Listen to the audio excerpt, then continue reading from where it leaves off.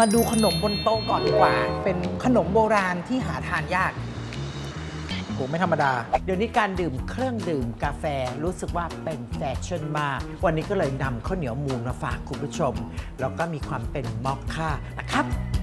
ไม่เคยเห็นขนมตัวนี้ที่ประเทศไทยมาก่อน ขนมถั่วเขียวทอดแบบสิงคโปร์ค่ะ ขนมตัวนี้กินชิ้นเท่านี้เลยจริง ๆ ใช่ไหมที่นู่นเหมือนกล้วยแขกบ้านเรานะ